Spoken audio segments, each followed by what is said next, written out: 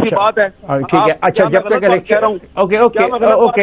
एक सेकंड एक सेकंड जी। कह रहा हूँ। आहिस्ता। आपने एक हुकूमत को चलता किया अपने पैर पे खुद कुल्हाड़ी मारी बल्कि कुल्हाड़ी पे जंप मारी। आप अभी भी यही कर रहे हैं। आप उनकी पीठ पर आए हैं और अब वो चले गए हैं जिन्होंने सेफ़ एग्जिट लेना था उन्होंने ले लिया है और अब आप पछ अब आप पछता रहे हैं लेकर काम। हेलो दोस्तों मैं हूँ रिजवान सुल्तान और आप देख रहे हैं मेरा डिजिटल चैनल मेन टॉपिक्स का आगाज़ करने से पहले आपको बताता चलूँ कि एक साग डार साहब कुछ देर पहले टीवी पे आए और बड़ी बेदर्दी और बेशर्मी से कैमरे के आगे बैठ के उन्होंने कह दिया कि भाई पैंतीस रुपये पर लीटर पेट्रोल की कीमत बढ़ा दी गई है।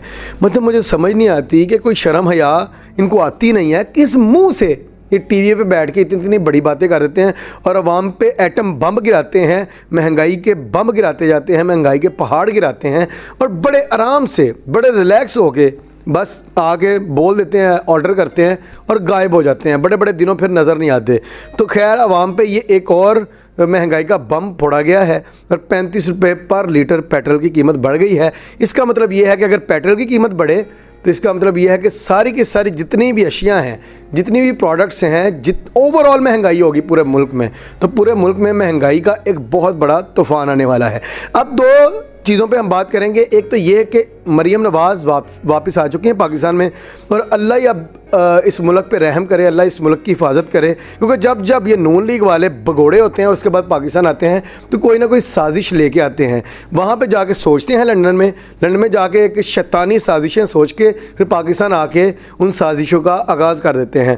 तो जब जब ये आते हैं मुल्क का कहीं ना कहीं तरह किसी ना किसी तरह ना बेड़ा गर्क होता है। तो इसलिए अल्लाह से इस बारे में दुआ करें। मैं इस बारे में वीलॉग बनाना नहीं चाहता था लेकिन सना बुच्चा ने बहुत ज़्यादा हकाइक पर रोशनी डाली और उन्होंने बहुत से हकाइक बयान किए। यह मरीम नवाज़ की वापसी पे। इस पर अतात अरड़ को तकलीफ़ भी बड़ी हुई, जलन भी बड़ी हुई।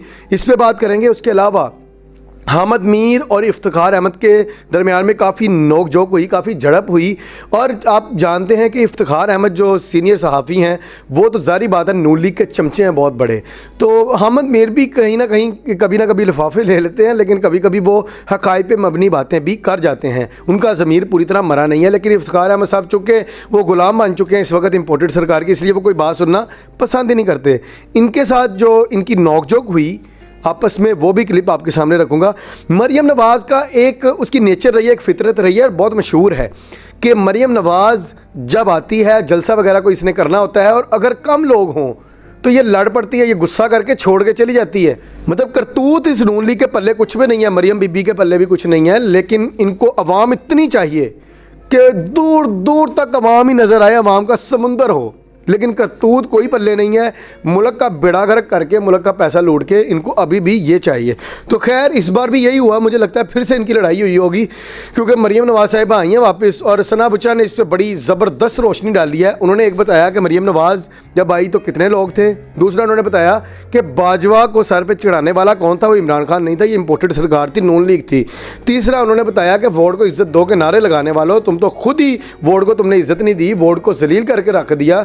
अवाम के मैंडेट को चोरी किया आपने तो आपने खुद ही ये सारा कुछ करके अब किस मुँह से लोगों के सामने जाओगे और वोट मांगोगे? उनकी क्लिप सुनिए, उसके बाद इस पर बात करते हैं। मेरा ख्याल है कि तिरपन मिनट का जो पाकिस्तान इंटरनेशनल एयरलाइंस की फ़्लाइट आनी थी अबू धाबी से, वो जो तिरपन मिनट लेट आई है, उसको मेरा ख्याल है, बहुत खुश आइन बात थी ये पी एम एल एन के लिए, क्योंकि बहुत सारे लोगों को इकट्ठे होने में और पहुँचने में बड़ा टाइम लग गया।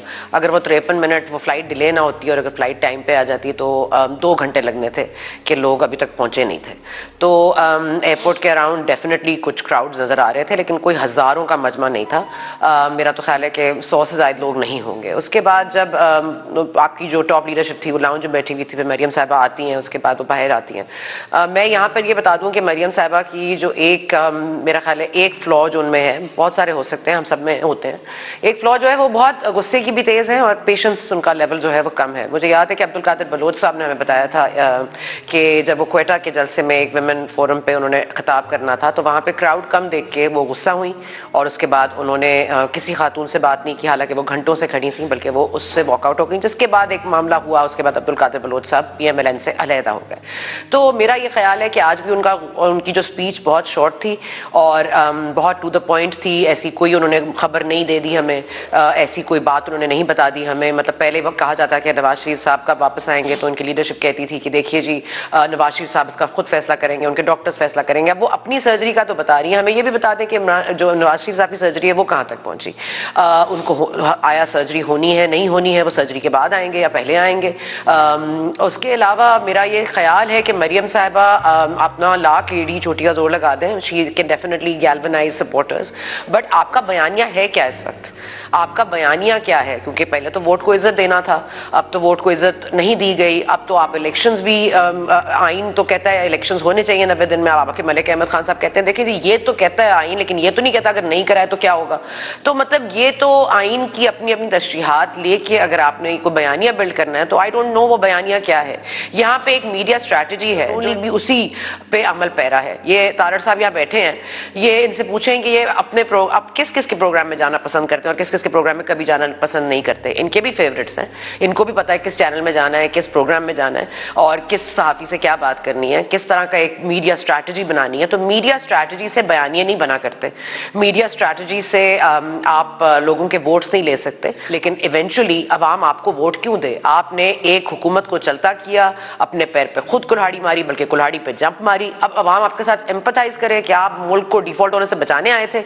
तो अवाम ये बजाने, हक बजाने पे कहने में कि यार डिफ़ॉल्ट ही होने देते, माफ़ करते, ये तो ना होता जो आज हो रहा है। और उसके अलावा ये भी बार बार ये कहते थे कि हमारी हुकूमत को घर चलता कर दिया, चलता कर दिया असेंबली अपनी मुद्दत पूरी नहीं करती।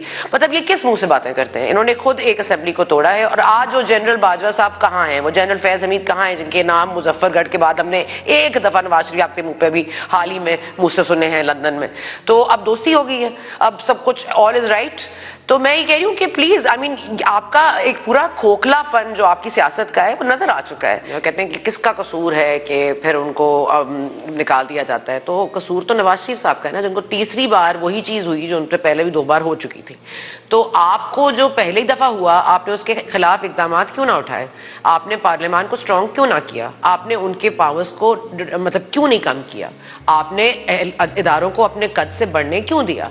मतलब अभी भी आप यही कर रहे हैं। आप अभी भी यही कर रहे हैं। आप उनकी पीठ पर आए हैं और अब वो चले गए हैं जिन्होंने सेफ़ एग्जिट लेना था, उन्होंने ले लिया है और अब आप पछ, अब आप पछता रहे हैं लेकर काम। तो ये काम आपका है नहीं। और मैं कह रही हूँ कि देखिए, एक अच्छा काम कर लेना बहुत अच्छी बात होती है। पूरी पूरी ज़िंदगी आपको एक अच्छे काम से याद नहीं किया जा सकता। आपको कंसिस्टेंटली अच्छी परफॉर्म करना पड़ेगा। तो ये भी बस ये कहते रहेंगे मोटरवेज बनाई थी, हमने फलां किया था हमने फलां किया था। You have to consistently work towards the betterment of people और अगर आपका टाइम शॉर्ट होता है, आपको गलत, बुनियादी तौर पर गलत उठाया हटाया जाता है, और फिर आप उन्हीं से मुआदे करके वापस आते हैं तो फिर where does that leave you और आप लोगों को बेवकूफ़ नहीं बना सकते। और इंटरनल पॉलिटिक्स की जहाँ तक बात है, देखिए, मिफ्ता इस्माइल साहब आज पेशावर में मौजूद नहीं थे। सिर्फ़ खाकान अब्बास थे। उन्होंने वीडियो लिंक पर खिताब किया। इसका मतलब है there a pointed pointed thing कि मरियम नवाज़ को लेने नहीं जाऊँगा और वहाँ पे भी उन्होंने वीडियो लिंक से खिताब किया। He wasn't there so Khaqan Abbasi sahab is of the view I think party में बहुत सारे लोग हैं और ये खाकान अब्बासी जो हैं, वो समझते हैं कि हमें ये नहीं करना चाहिए था। हमें ये हमें ये ये असेंबली नहीं तोड़नी चाहिए थी। हमें अदम एतमाद नहीं लाना चाहिए था। And there are lots of people in P M L N जो अब ये कह रहे हैं। आप साद रफीक साहब को देख लें, उनकी गुफ्तु देख लें। बहुत सारे और लोग हैं जो टीवी पर नहीं आते, लेकिन बात नहीं करना चाहते, लेकिन वो बहुत इस पे मजिद है कि ये नहीं होना चाहिए था। अच्छा अब एक चीज़, दूध का दूध और पानी का पानी होगा कि रिजीम चेंज ऑपरेशन हकीकत था। सना बुच्चा, जो कि हालाँकि इनकी इम्पोर्टेड सरकार की अक्सर हमायत करती है, उन्होंने भी कह दिया कि बाजवा, यानी इस्टेब्लिशमेंट की इस इम्पोर्टेड सरकार ने तरले मिनतें की थी और कहा था कि किसी तरह किसी तरह इमरान खान का तख्ता पलटो और हमें बिठा दो। अब वो बाजवा साहब खुद साइड पर हो गए हैं। और अब इनकी शामत आई है। अब इनसे मुल्क भी नहीं संभल रहा और अवाम भी इनको थू थू कर रही है। अब इनको पता नहीं लग रहा कि क्या करना है। दूसरी तरफ़ सना बच्चा ने कहा कि मरीम नवाज़ जब आई थी तो कुछ लोग थे, ज़्यादा सैकड़ों में थे, हज़ारों में भी नहीं थे। इस पर तात आर्डर कहते हैं कि भाई, बहुत ज़्यादा लोग थे। जमे गफ़ीर था, यानी इमरान खान की बारी अंधे हो गए थे, अकल के भी और आँखों के भी अंधे हैं, मैं अक्सर कहता हूँ। और तब इनको नज़र नहीं आता, तब कहते कुछ लोग हैं। अब कह रहे हैं, भाई, जमे गफ़ीर था और जब सहाफ़ी मंसूर अली खान ने कहा कि भाई, कितने थे आप आइडिया एस्टिमेट तो दें? हज़ार थे, दो हज़ार थे, दस हज़ार थे, दस लाख थे, कितने थे? उससे आइडिया नहीं दिया गया। भाई, किस मुँह से आइडिया दे? मतलब शर्म या तो इनमें नहीं है, लेकिन इतने बड़े बेशरम नहीं है कि बाद में अपनी और मजीद थू थू करवा दें। मिसाल कहता है पचास हज़ार थे। तो मंसूर अली खान वहाँ पर ही जलील करके रख देता, बेइज्जत करके रख देता कि भाई असी अन्ने हैं, सानू पागल समझना है। तो इसलिए उसे सवाल भी नहीं जवाब भी नहीं दिया गया कि कितने थे नंबर नहीं उससे दिया गया। वो क्लिप सुने। पंजाब के अंदर लाहौर के अंदर मुस्लिम लीग नून का ऐसा शो अगर जो जो हुआ है वो शॉकिंग है पार्टी के लिए और आप लोगों की परफॉर्मेंस के हवाले से। आ, बहुत शुक्रिया जी। आ, वो अंग्रेज़ी की कहावत मेरा दिल कर रहा है कहने का वो कहते ना ओपिनियंस एवरीवन हैज़ वन मगर देखिए मैं आ, मैंने पूरा हफ़्ता मोबिलाइजेशन की मैं अपने हल्के से बहुत बड़ी रैली लेके आया। और मैंने सोशल मीडिया पे सारे क्लिप्स पोस्ट किए मुझे जलसा गाँव में चलते चलते, स्टेज तक पहुँचते पहुँचते कोई 20 मिनट लगे और जम्मे गफीर था, इंतहाई रश था, लोग चारों तरफ़ लोग ही लोग थे, स्टेज के आगे, स्टेज के पीछे, सड़क पे, मेन रोड, रिंग रोड के ऊपर, स्टेज के सिरे से लेके ताहदे निगाह लोग खड़े हुए थे। तो मैं समझता हूँ कि ये मुस्लिम लीग नून जो है वो आज रिवाइव हुई है ताकि ऑन रिकॉर्ड रिवाइवल है। के मुताबिक कितने लोग आए हैं सर जिन्होंने जलसा अटेंड किया है? सर हज़ारों लोग थे। और मैं तो मतलब अगर आप मुझे कैलकुलेट करने का कहें मैं आपको कह रहा हूँ कि जहाँ तक नज़र जा रही थी लोग ही लोग थे। I think it's most successful show हज़ारों तो हमें आज एक नई जो है वो होते हैं और एक नया जज्बा मिला है जोश मिला है। एक नंबर मुझे दे दीजिए। आप अंदाज़ा कर लेना। सर आप अंदाज़ा कर मैं तो कह रहा हूँ कि मैं वो अनकाउंटेबल था लोग ही लोग थे। मैं आपको पिक्चर भी भेजता हूँ क्लिप्स भी भेजता हूँ आपने देखा भी होगा। तो जहाँ तक नज़र जा रही है लोग ही लोग हैं। इतना बड़ा मजमा है। तो why don't you put number on that आप नंबर अच्छा। को बताएँ। मेरे हिसाब से तो अनगिनत अच्छा। लोग थे। And it was a huge show Tarar जैसे लोग ना आवाम को बेवकूफ़ चाहे ना बना पाए, लेकिन खुद को ये बेवकूफ़ बनाते रहते हैं। अपने आप में बेवकूफ़ फुद्दू बनाई जाओ, लेकिन लोग पागल नहीं है, लोग नहीं बेवकूफ़ बनेंगे। अब जो हामद मीर और इफ्तार अहमद के दरमियान में नोकझोंक हुई, वो सुनिए, फिर इस पर बात करते हैं। लेकिन शायद हकान अब्बासी साहब तो इस वक्त मायूसी का शिकार हैं, क्योंकि वो तो जनरल बाजवा को एक्सटेंशन दिलवाना चाह रहे थे तो वो अपनी कोशिश में वो कामयाब नहीं हुए, इसलिए वो मायूसी का शिकार हैं, लेकिन वो अपनी पार्टी भी नहीं छोड़ना चाहते। इसी तरह के और भी लोग जो हैं, वो उनके साथ हैं। ये मुस्का इसमाइल साहब जो हैं, ये भी उनके बहुत बड़े इतिहादी हैं। तो ये इनकी पार्टी के अंदर जो प्रॉब्लम था, वो ये था कि एक ग्रुप जो है, वो जनरल बाजवा को एक्सटेंशन दिलवाना चाह रहा था, दूसरा ग्रुप जो है, वो एक्सटेंशन नहीं दिलवाना चाह रहा था। और इसी तरह की ग्रुपिंग पीपल्स पार्टी में भी है। वहाँ पे भी आप देखें कि उन्होंने खुर्शीद शाह को आइसोलेट किया हुआ है। और दूसरी तरफ़ जो है, वो एक दूसरा ग्रुप है। वो बिलावल साहब के इर्द गिर्द रहता है, तीसरा ग्रुप है वो, जरदारी साहब के इर्द गिर्द रहता है। तो जिन पार्टियों की कोई नजरियाती बुनियाद ना हो और जिन पार्टियों ने सिर्फ़ पावर पॉलिटिक्स करनी हो, उनके पास कोई मैनिफेस्टो ना हो, उनके अंदर कोई इलेक्शन ना हो, उनके अंदर कोई तंजीम ना हो तो उनका यही हशर होता है। अभी आपको सिर्फ़ ये शायद हकान अब्बासी साहब नज़र आ रहे हैं। आप देखेंगे कि आने वाले दिनों में नून लीग के अंदर बहुत टूट फूट होगी। हामिद मीर साहब तो बहुत खरी खरी बात कर रहे हैं। इफ्तार साहब, आप ज़रा इस पर बताइएगा कि बात तो कुछ ऐसी लग रही है जो कह रहे हैं हामिद। अगर ये सारी ही सियासी पार्टियाँ इस काबिल नहीं हैं कि जमहूरीत को डिलीवर कर सकें तो फिर वो कौन सा ग्रैंड डिज़ाइन होगा जो इनके जहन में क्या वो ग्रैंड डिज़ाइन होगा जिसका हवाला कोयटे में होने वाली प्रेस कॉन्फ्रेंस और पेशावर में होने वाली एक प्रेस कॉन्फ्रेंस में में दिया जा रहा है?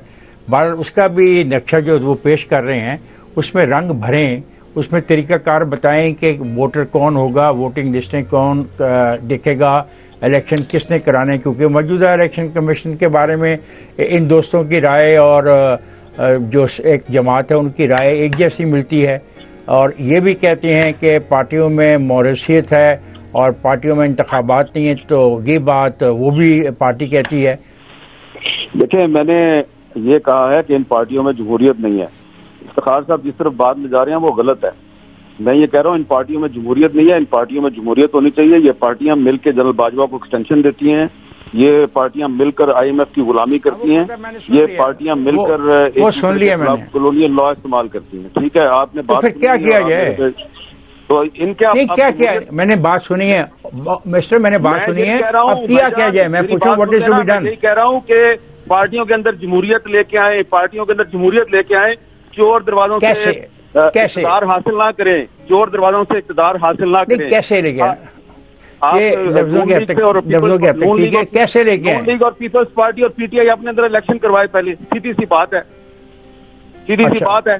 ठीक है। अच्छा जब तक इलेक्शन ओके ओके ओके। एक सेकंड एक सेकंड जी। कह रहा हूँ। आहिस्ता यार ऐसा बोलो एक सेकंड एक सेकंड इफ्तार साहब आपने सवाल किए वो जवाब दे दें। इफ्तार साहब जवाब दे दें जी।